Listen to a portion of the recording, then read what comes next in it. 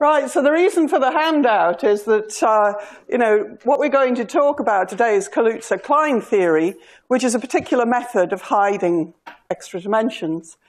And so we're going to look at the actual theory of Kaluza and Klein. And there's, you know, one of these computations in there. So again, rather than have you worrying about getting details down, the handout's there, so you know you've got it. Um, so really what Kaluza-Klein theory does is it extracts four-dimensional gravity out of a higher dimensional action. And so at the time, clearly, uh, there was no sort of real experimental reason for Kaluza to have developed this theory. I think it was about 1920. And indeed, I think Einstein sat on the paper for some considerable period of time because I, I don't know whether he didn't believe it or whether he just wasn't convinced about it. But in any case, as we will see, it's actually, from a mathematical perspective, it's, it's a really sort of beautiful idea in which we get not only four-dimensional gravity, but also something that is like four-dimensional Einstein-Maxwell theory from pure geometry. And so from a modern perspective, we would say that the U1 gauge, theory, you know, gauge group of electromagnetism is realized geometrically by adding uh, an additional circle to space-time. Now, we'll also see that there's other things that are maybe not so helpful, but, you know, coming out of the theory, but it's, a, it's an extremely good illustration of, you know, how to hide extra dimensions uh, of unification, because it gives us not just gravity, but also another massless, uh, well, the only other massless field that we've got. Um, but it, it comes at a price. It gives us another force as well. So, until about 15 years ago, it was the only way in which we believed we could hide extra dimensions. That's another reason for its sort of predominance in gravity theory.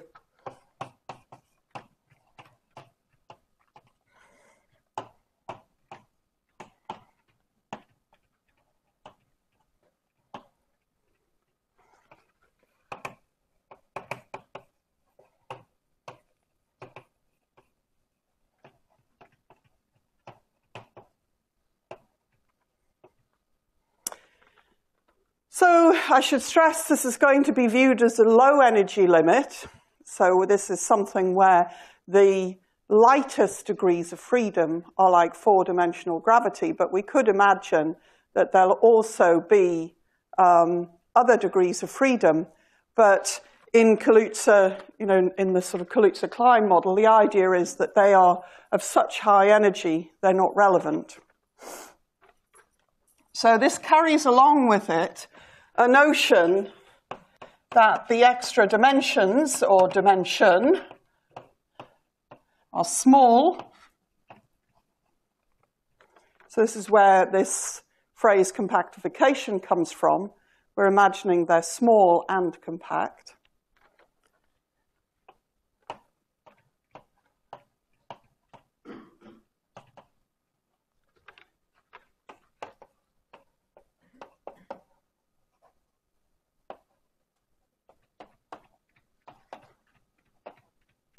And the other thing that we will do when we look at the low energy effective action is we're going to assume that the geometry does not depend on the extra dimension. So it's that, I guess, is the key feature of Kaluza-Klein theory.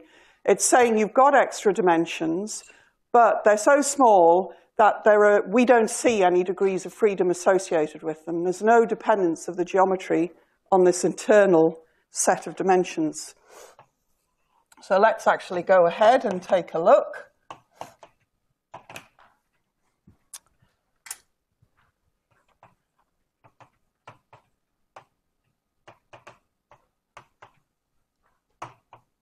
So we're going to start with a five-dimensional geometry, and we're going to look at turning it into a four-dimensional theory. So we can see intuitively that what we want to do is we've got a sort of g mu nu embedded in there, so a four-dimensional metric.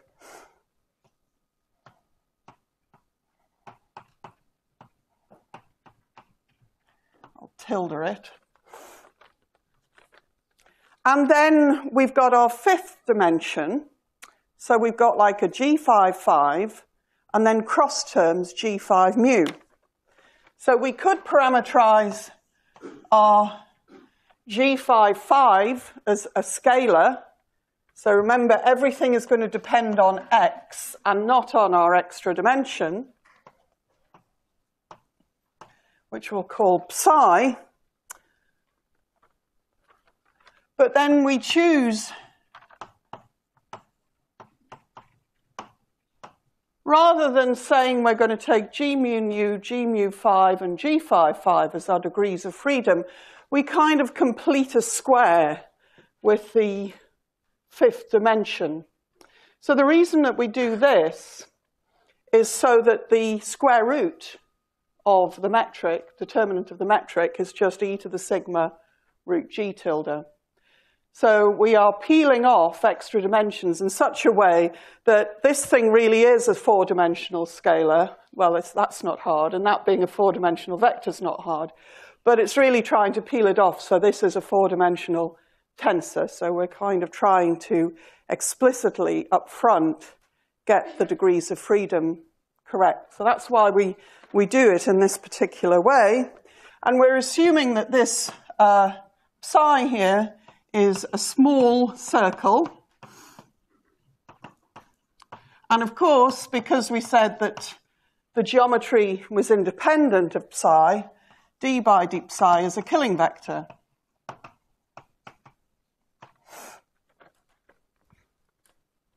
So that's our assumption. Our assumption is we've got a five-dimensional metric dependent on only four of the, the, the dimensions, and we choose to split our degrees of freedom into a convenient fashion. So here we've got G5 is root G tilde e to the sigma.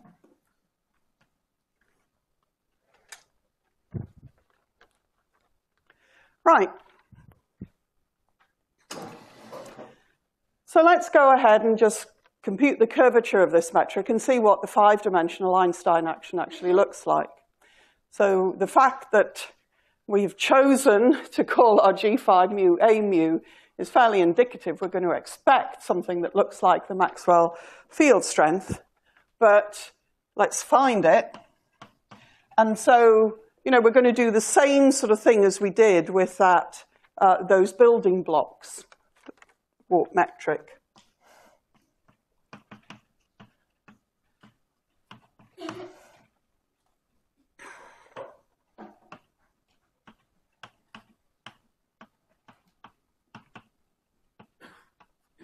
So as always, we pick an orthonormal basis for G tilde, and then we pick our omega 5 or omega psi to be the obvious thing.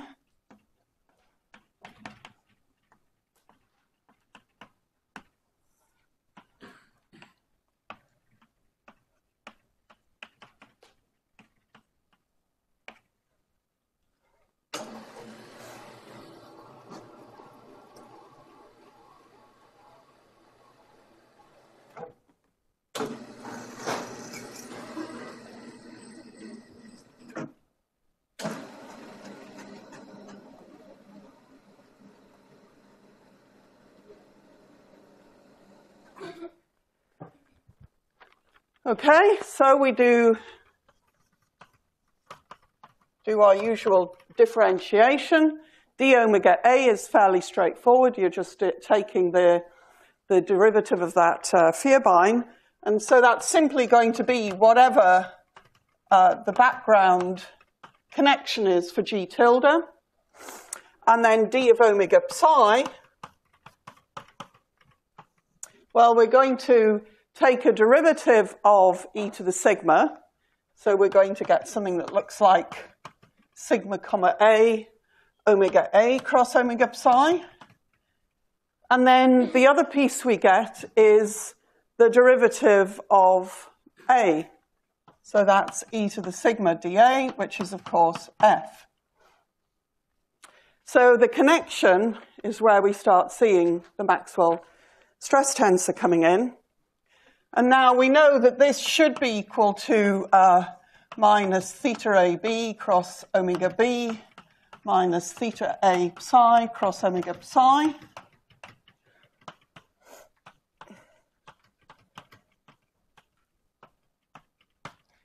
So I'm just writing that down. So the reason is this is the sort of first example where sort of unraveling the connection coefficients is not just a simple matter of picking them out of the right-hand side.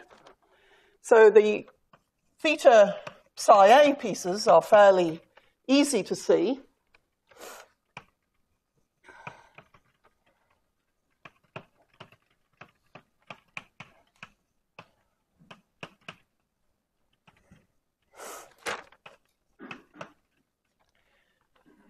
So to pick out those, you see you've got to just directly get the derivative of sigma, that goes straight down.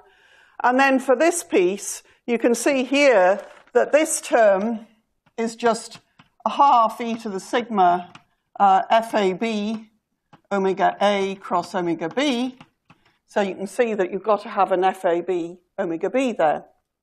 But now, if I look at what that means for theta AB, well, obviously, I've got the background, theta, that's always there.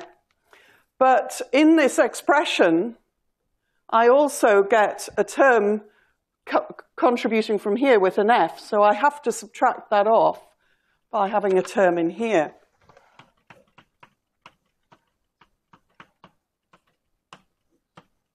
So I need to have an omega psi piece as well.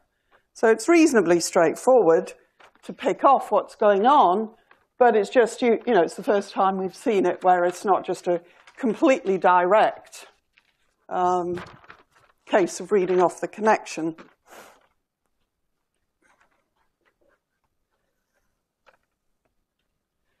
So that means we're going to have, you know, a few terms to keep track of when we calculate the curvature tensor.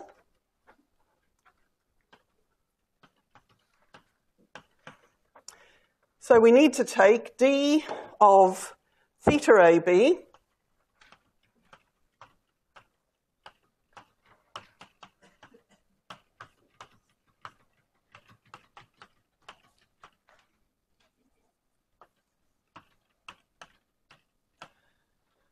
And then we've got to get all the cross terms, and there's quite a few cross terms in here.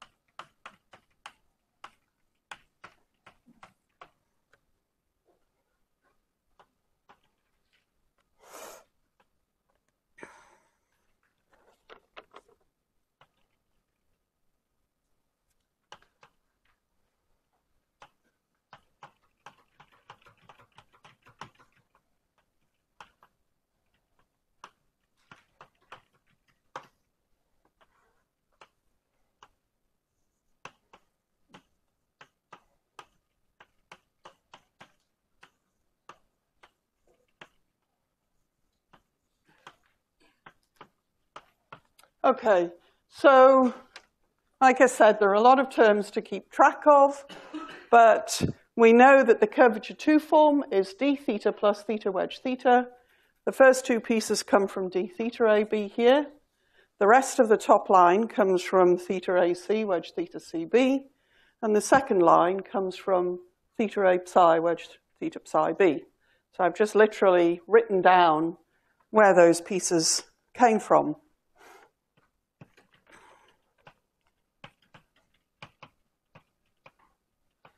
Okay, so I've got my work cut out for me here.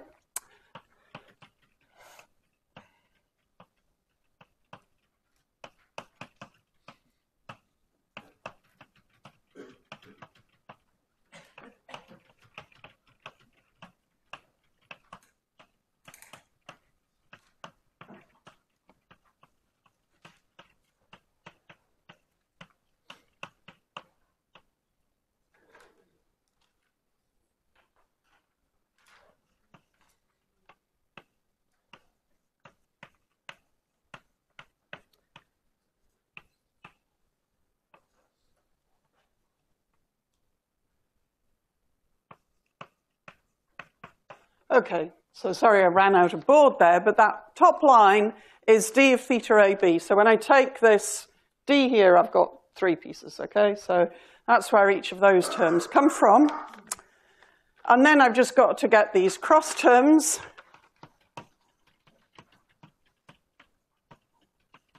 So here's what we would expect. We'd expect a piece that's going to give us the background curvature of G tilde.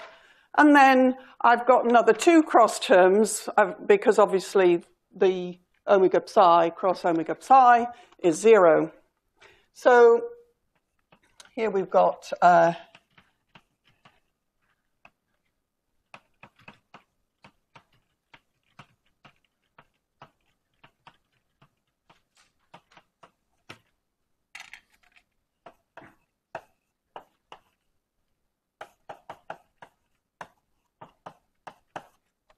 So that's the cross terms from the theta AB, the top line.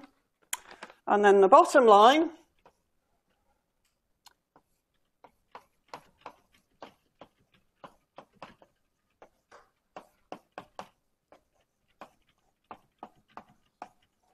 has a very promising looking term. It's got FF in it. And then I've got two uh, cross terms again.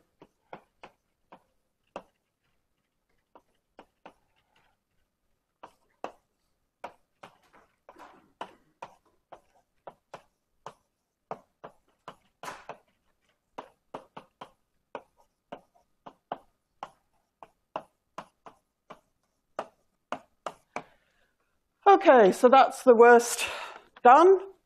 Um, what I'm going to do, rather than spend you know a lot of time manipulating this into a, a, a you know more friendly format, is ultimately what we're interested in is thinking about Einstein equations and the Ricci scalar. So all we really need are components of the Riemann tensor that are going to contribute to the Ricci so what that means is if I have two four-dimensional indices here, I'm looking really for two four-dimensional indices on the right-hand side. So things like this term, those are obviously purely lying within the four-dimensional space. This is a cross term. That's a cross term. That's a cross term, but this isn't. We've got F there, which is four-dimensional. Here, that's a cross term. Uh, this is another cross term. And then on the bottom line here, we've got something again lying within the four-dimensional space. That's a cross term, and that's a cross term. So although there's a lot more going on, in fact, all I'm really interested in are the pieces that I've underlined in green. So that's what we'll sort of pull and focus in on.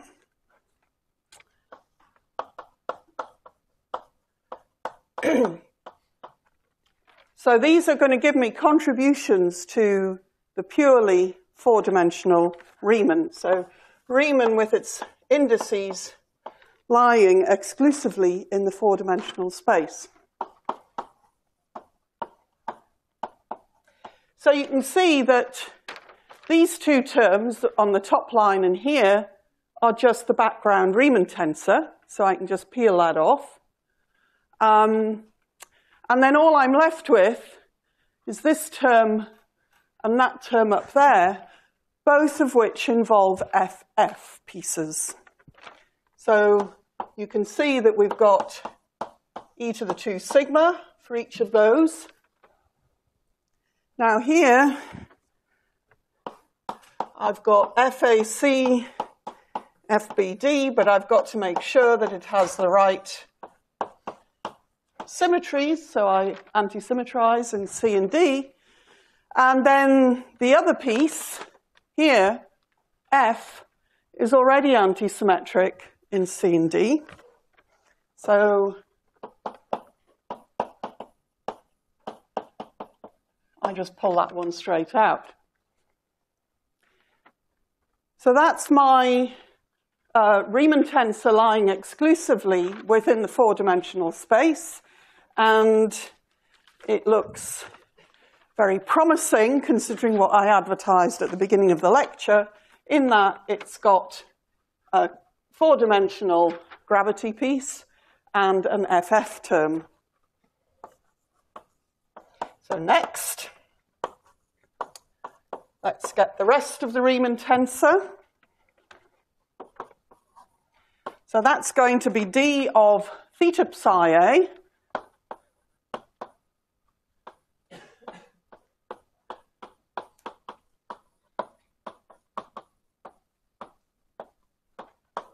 which that term. And then it's going to have a cross term, which is going to be theta psi b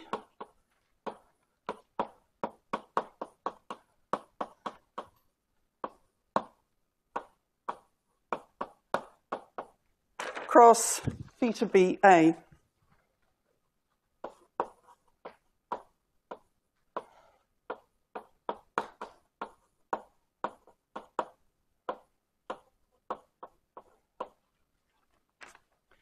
That's what that piece looks like.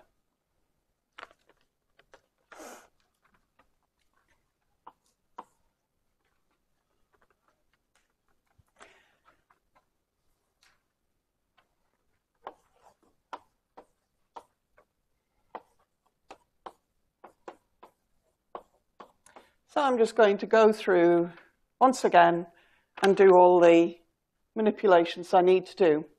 So here's taking d of the first term, it hits the scalar, we've got a second derivative of the scalar, then it's going to hit the omega psi, and I've calculated d omega psi up there. It's uh,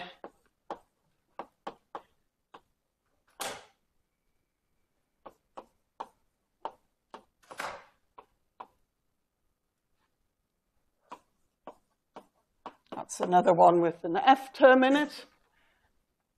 Then I've got to take D of this piece.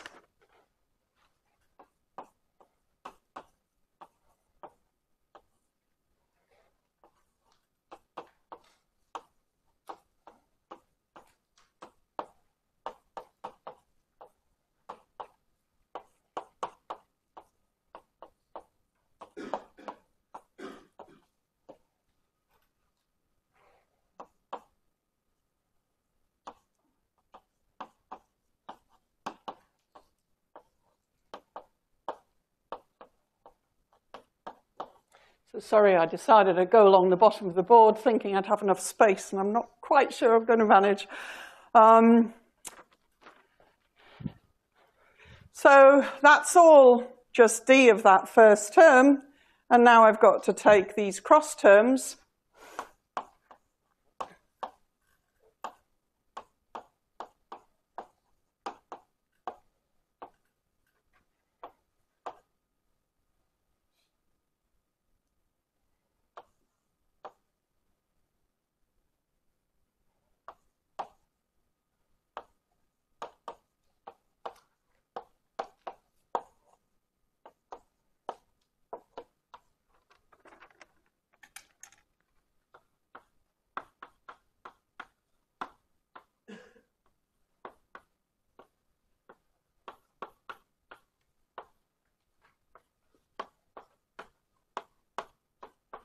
Okay, with apologies for how scrunched up it's become. So there's a lot going on in there. This first sort of two, three bits are taking the derivative, and these three bits come from the cross terms. But once again, we're only going to be interested in the pieces that are going to contribute to the Ricci tensor. So in this case, we've got uh, a cross piece, five, something from the fifth dimension and the four-dimensional indices. So on the right-hand side, we need to pick out the terms that have an omega b, omega psi piece in them. So the first one's something that we need. Here's another one that's something that we need. We don't need this one. We don't need that one. We don't need that one. We don't need that one. We do need this one. Um, we don't need that one and we do need that one. So again, although it looks quite intimidating, when you actually pull apart what you need, there's much much less going on there. So if I extract the piece I need,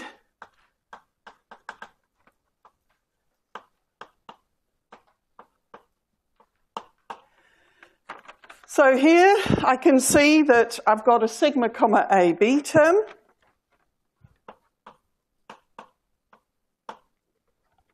That's the first term. The second term I can see is, consists of first derivatives of sigma.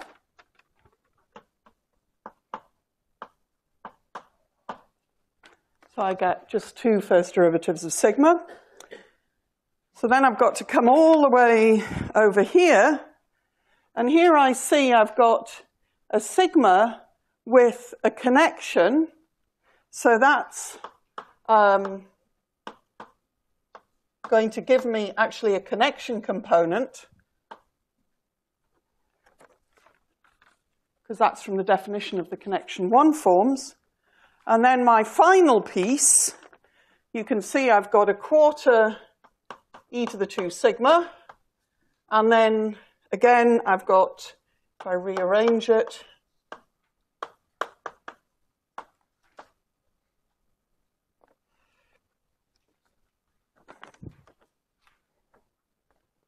I've got an FF term.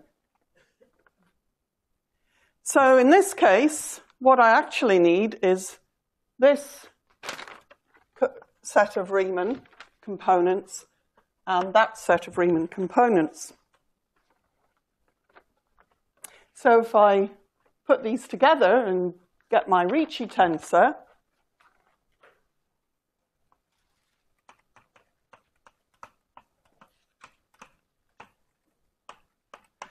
The psi, psi one's very easy because it's only that last line that contributes to it.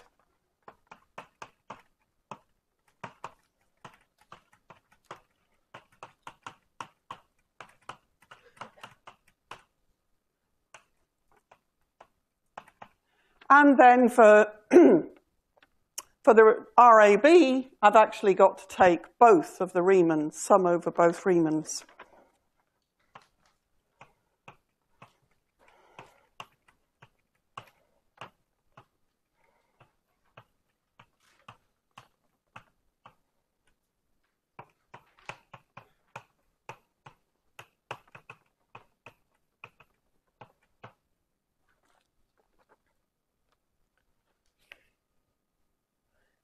So pulling all that together, you can see that I've got, I've sort of got the background Ricci tensor kind of hiding away in there.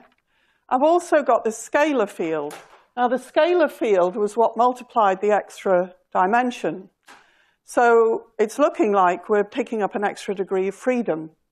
And we didn't really see that until, you know, we got down to actually calculating this curvature. I mean, we had hints at the connection level, but we're only really seeing it now. And it's coming from the parts of the curvature involving the extra dimension. So that kind of makes sense, whereas our f degrees of freedom, well, they're coming from both, obviously, but you can see that, you know, they're sort of sitting here as well in this four-dimensional Riemann curvature. So our Ricci scalar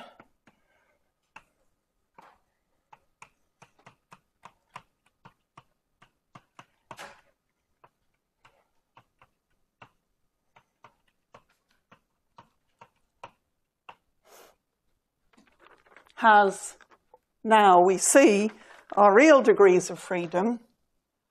And I'm going to just express the scalar part slightly differently, so it looks like a total derivative. But we can now see in our Einstein-Hilbert action how we're going to get general relativity or something like it, how we're going to get electromagnetism, but we also see we've got a degree of freedom corresponding to the internal uh, dimension. And that's not a degree of freedom that depends on the internal dimension. It really is a genuine sort of, we call it sometimes a breathing mode. It's something that tells us how big the extra dimension is. So the, the size of the extra dimension can vary throughout space-time. So our five-dimensional Einstein-Hilbert action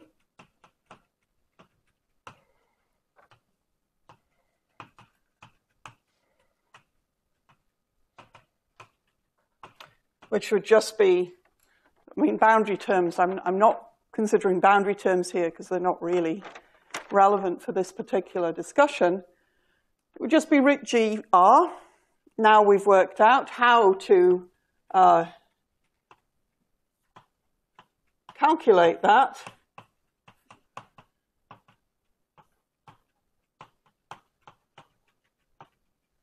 And as I said right back at the beginning, the way we've written the metric means that our square root of the determinant is just a nice product of the size of the internal dimension times root g tilde. And so we simply get a nice root, you know, d4x root g tilde here. But we've also got this e to the sigma.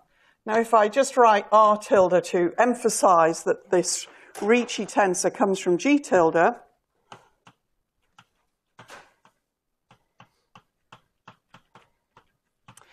Now I'm going to argue again this is uh, a total derivative because this is why I wrote it like this. There's an e to the minus sigma here, an e to the plus sigma there, so it goes.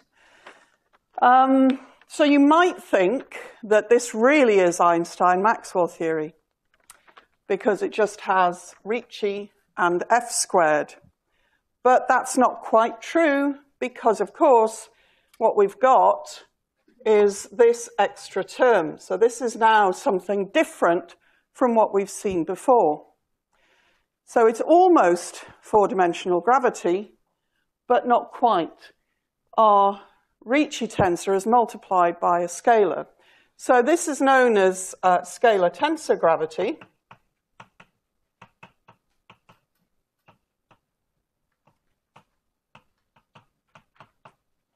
And it really only began to be properly explored in the late 50s and 60s by Jordan, Brans, and Dicke.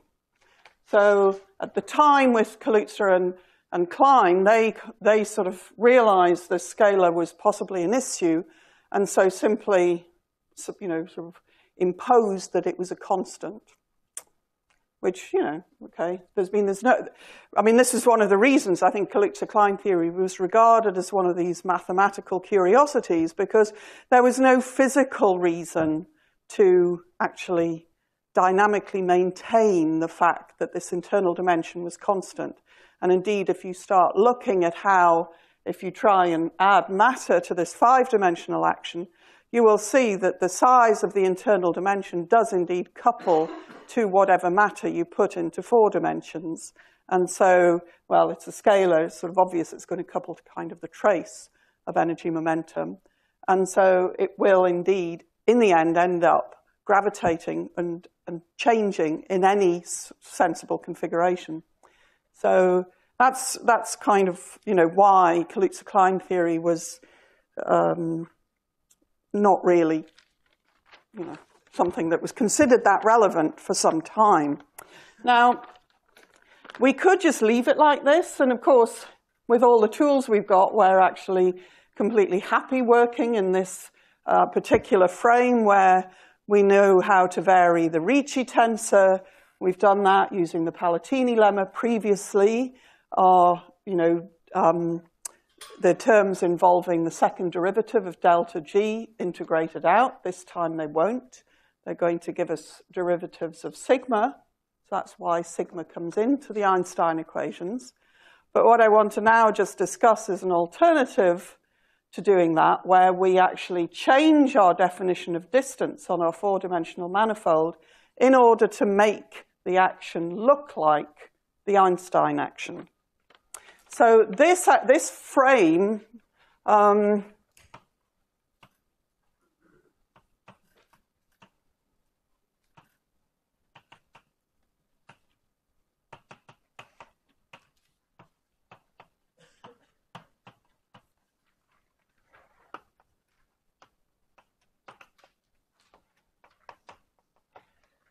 So this is called a conformal transformation or a change of frame.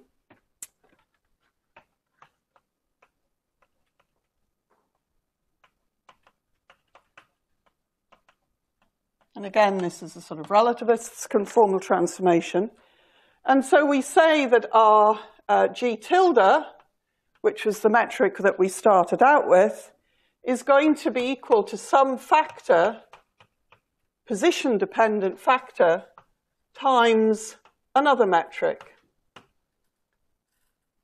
So we're rescaling what we mean by lengths. It doesn't change angles. So we call this our original frame is usually called the Jordan frame because it was Jordan who explored this. And this G we call the Einstein frame. Because that's the G in which our gravitational action is going to look like the Einstein action. So if we do this,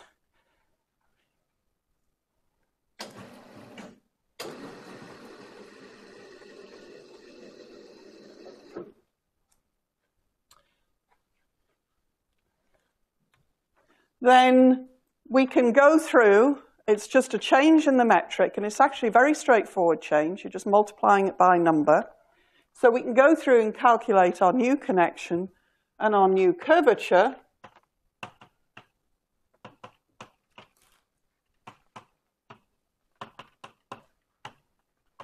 And we find that, unsurprisingly, what we get is that the curvature of G tilde is related to the curvature of G by some scaling factor and derivatives of the conformal factor. So we set, we're going to choose our omega so that it's going to cancel this e to the sigma in the action. If we choose that,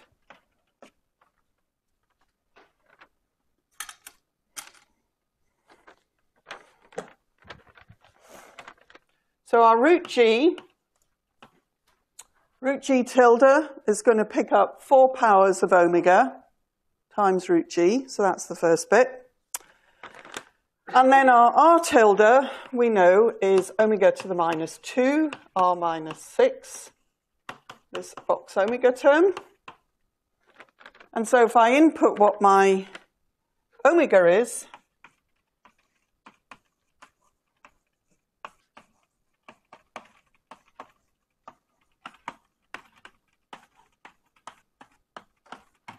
I find that I get exactly what I needed. I've got an e to the minus sigma there to cancel the e to the plus sigma. I've got the standard Einstein Ricci term, and now the derivatives of my scalar field have come back into play. So previously, in the Jordan frame, it didn't look like you had dynamical terms for the scalar field, although you did once you thought it through about varying the action. But here, having gone to this Einstein frame, you now explicitly pick up kinetic terms. So having gone to something in which gravity looks more familiar, you need a way in, to incorporate the dynamics of the scalar. So finally,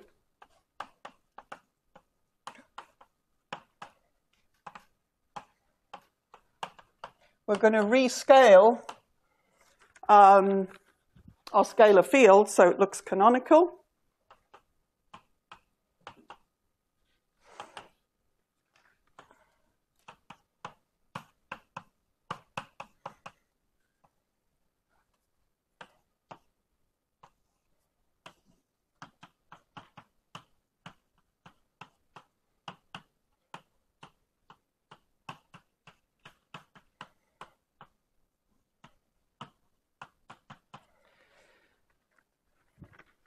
So I'll just write down our metric because we've done quite a bit with it.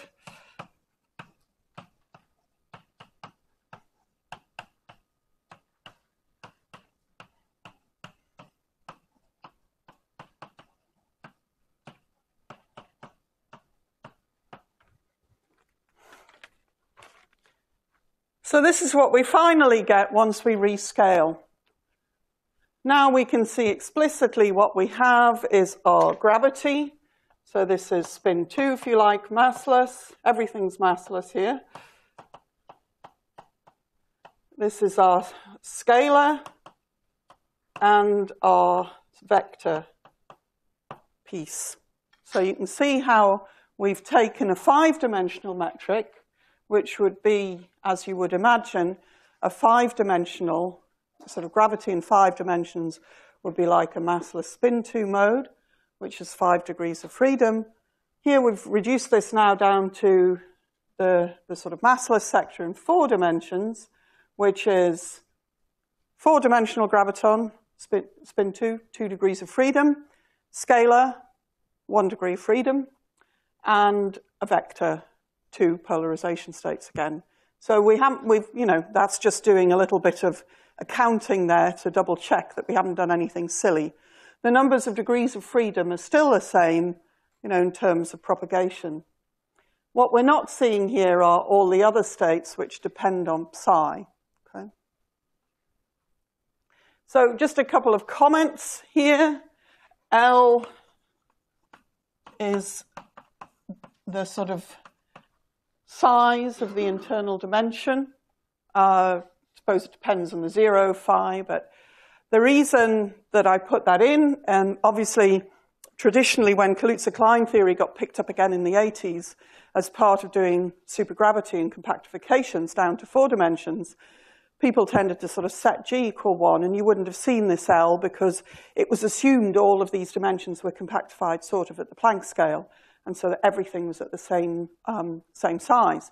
But now we've sort of got as we'll see when, if we look at, you know, looking at um, large extra dimensions or warped compactifications, we've got this notion that maybe the extra dimension can have some different size. And so you can see this was why I wanted to keep my gravitational constant in, because four-dimensionally, four-dimensionally it's going to be equal to G5 over L. And so you can see that you know, again, four-dimensionally, Newton's constant has dimensions length squared. In, in arbitrary dimension, Newton's constant has dimensions L to the d minus 2. So obviously it's dimensionally correct.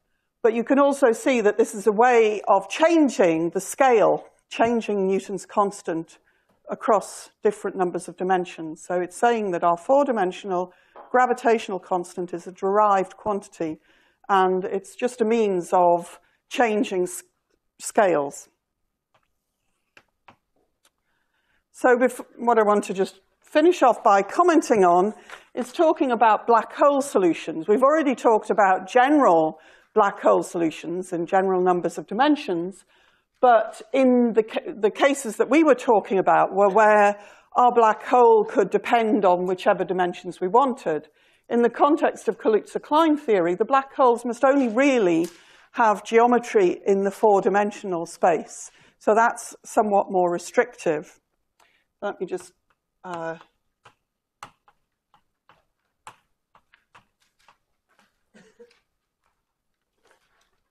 talk about this a little bit. So when we do Kaluza-Klein theory, we compactify our extra dimension.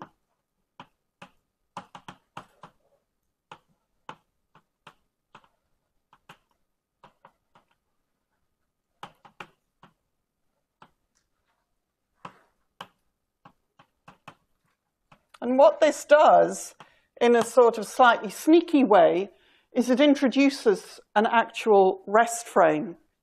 So we have here, if this is our um, t and our extra dimension, psi, so we can imagine here what we do is we identify psi with psi plus L at constant time. So we're identifying this point with this point. Now, if I do a Lorentz boost in my extra dimensions, so here's some t primed and some psi primed, then I'm no longer identifying uh, in the T prime psi prime frame, I'm not identifying psi primed at constant T. I'm actually making a bit of a different identification. So my, in the, in the prime frame,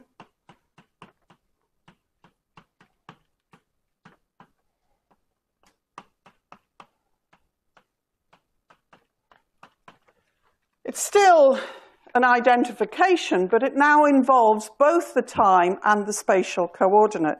And so what that means is that we've actually introduced a rest frame, and the rest frame is the one in which we identify a constant time. So let's see what that does to black holes. So we already saw that adding, tacking on an extra flat dimension to Schwarzschild gave us a black string. So we know how to, to, to write Schwarzschild in this Kaluza-Klein theory.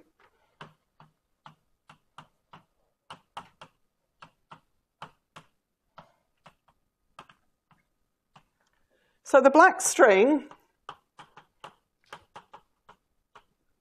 was going to be, let's imagine it's a black string in the T prime psi prime frame.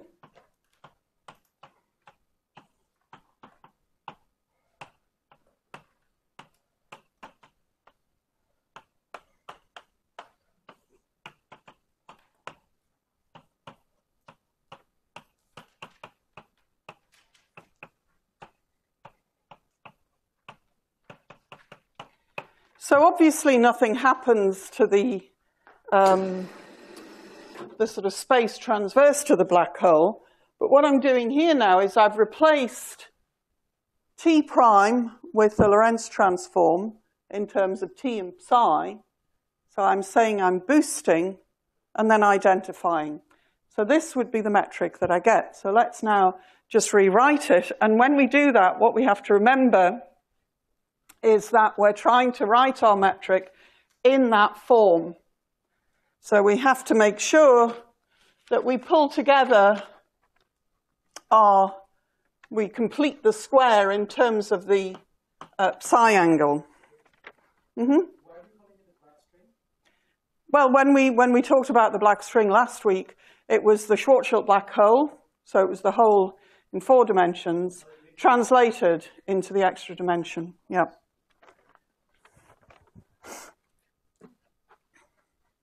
So if I look at what my G psi psi is,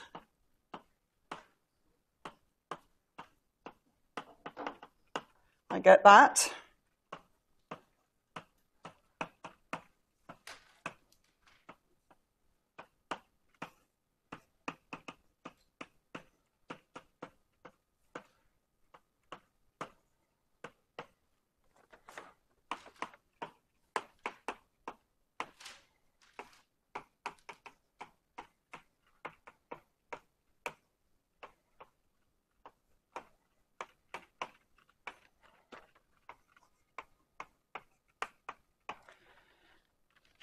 So the only thing that's slightly unexpected is the denominator, if you like, in the GTT, and that's simply because you have to complete the square on the psi side, and so that's sort of where that term comes from. So you can sort of double check that, but that's how that's how it all sort of pans out. So it looks a bit different as advertised. I said it was boosting, then compactifying was different from compactification first. And so what we want to do is just change coordinates to make it look a bit more familiar. So what I'm going to do is I'm going to kind of rewrite my radial coordinate so that I'm going to take care of this shift here. And then I'm going to, this cross term, this looks like if you look at the A mu, you've got a number over R at large R. So it looks like Q over R dt. Okay, so I'm going to try and pick that out by defining a charge.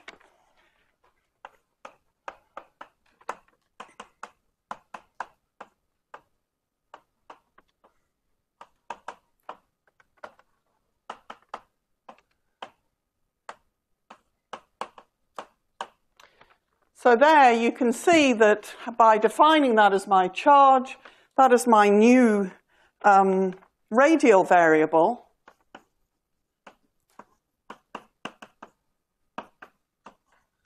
I get something that looks like an electric potential for an electric charge. So I can also read off my uh, scalar field.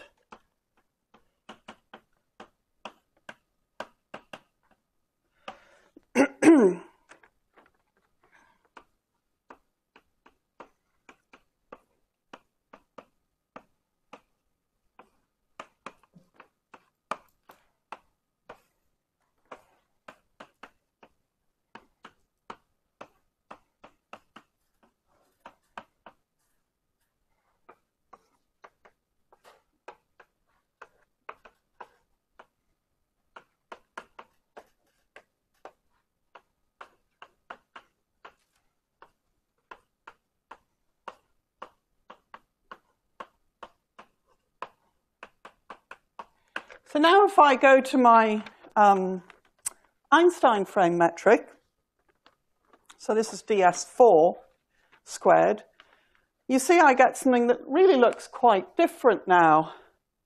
Um, so what I'm going to do is I'm going to just pull these, you know, use this term together. I'm going to call this 2gm hat. And so that I can see that I've still got the Schwarzschild potential in there. But what I also have are additional potentials that come from the charged particle.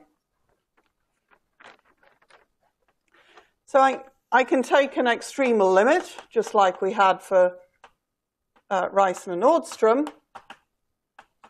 And the extremal limit in this case, and this is something that sort of crops up quite a lot, is actually taking the limit as v goes to 1. So in other words, we boost the black hole faster and faster, and we keep m hat constant. So v goes to 1, m hat fixed. So we're letting our original black string become lighter and lighter. So the original mass parameter becomes lighter and lighter as we boost it more and more until the limit you can think of is as letting the, the mass of the black hole go to zero whilst its speed goes to the speed of light. So it's kind of, that's a non-trivial limit.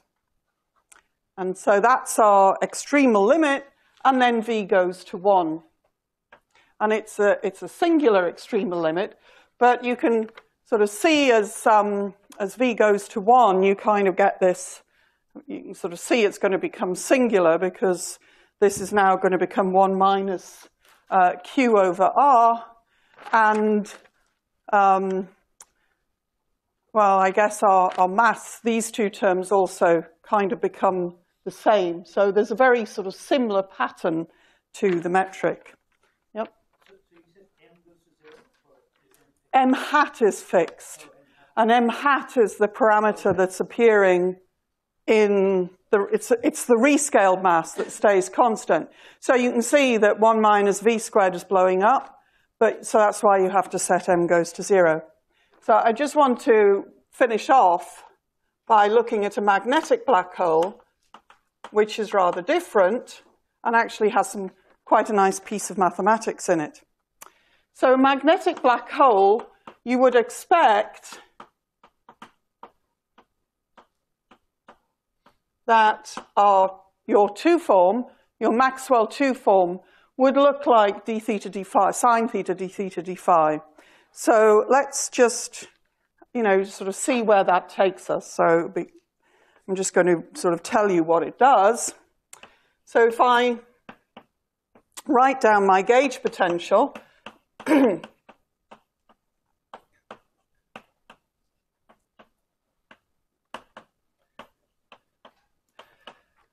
I'm going to choose a gauge potential. It's regular at the North Pole. You can do a gauge transformation to make it regular at the South Pole if you want by making it minus, uh, 1 minus cos theta. Now the solution that you get, let's put it over here.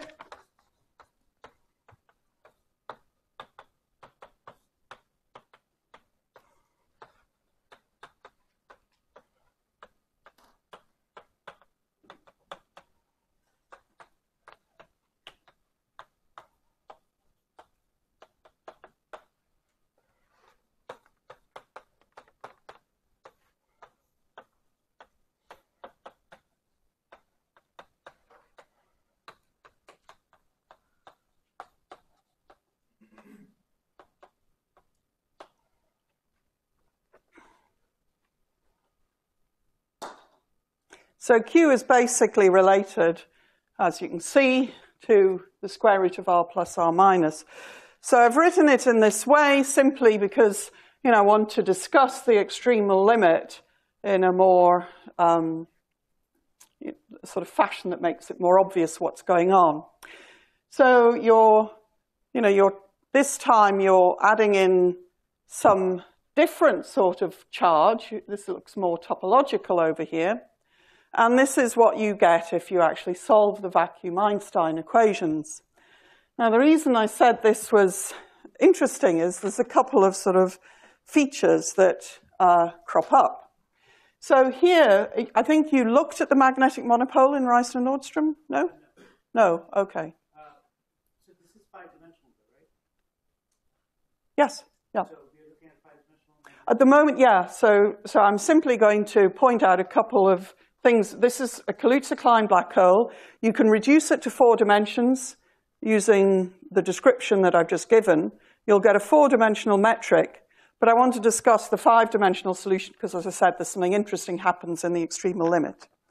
So there's just two things I want to say about this. One is about the gauge potential, and one is about the extremal limit. Now, in this case, this gauge potential A here is part of the geometry. It's not a separate gauge field. So our gauge field A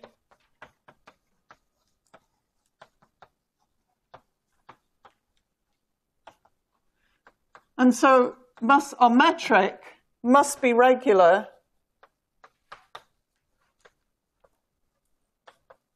at the poles. So we really don't want to have a singularity sticking out along the South Pole. I've explicitly constructed A to be regular at the North Pole. Now, if I wanted to write an A which was regular at the South Pole, I would have written, as I said, minus q into 1 plus cos theta d phi. So that's giving me two alternatives, two, two coordinate patches for, my, for writing down my gauge potential. So how do you get between these two coordinate patches? So, so I guess there's a sort of break here. Um,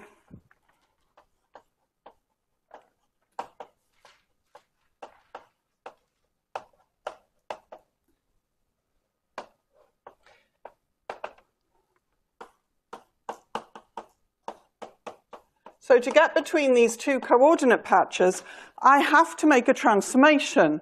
I have to go, I've got a psi coordinate in the north patch, psi primed in the south patch, and all I do is add a multiple of phi. But, of course, both phi and psi are periodic, and my psi goes with psi plus L in terms of the periodicity of psi. And so that tells me that 4 pi q has to be quantized. So this indicates a quantization of charge. So this is actually goes back to uh, some, the reason that Dirac first thought about magnetic monopoles, so just monopoles in standard electromagnetism, where he sort of looked at or theorized what if, what if there was a magnetic monopole? He looked at the wave functions of electrons propagating in the background of an electric, of a magnetic monopole, and deduced that if there was even one magnetic monopole in the universe, then there would be problems with the wave function of electrons unless electric charge was quantized. So it's kind of one of these sort of fun little facts that um, if you have a single magnetic monopole, electric charge absolutely has to be quantized. So here, the other thing I wanted to say was extremal limit. is clearly R plus equals R minus by the way I've constructed it. Yep.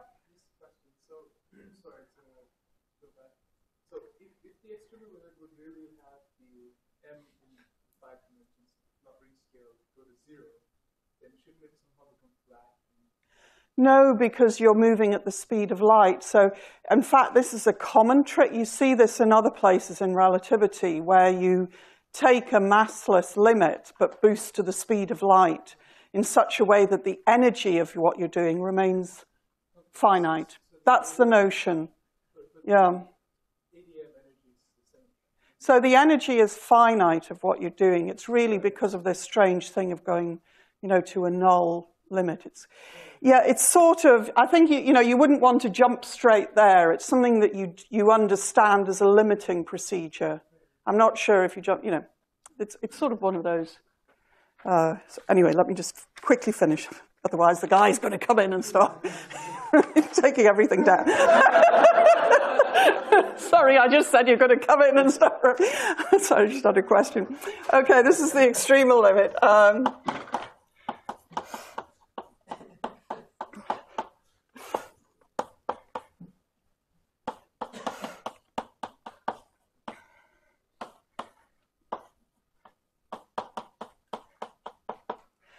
Right, so you can see that if I take r plus equals r minus, my dt squared is now just a flat direction.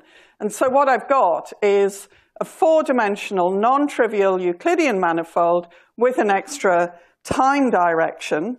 And if I now look at, it, it looks a curved manifold, it looks like something might happen as r goes to r plus. Um, I'm going to do my usual trick. I'm going to redefine my radial coordinate. And then what I get, near, of course, uh, R plus,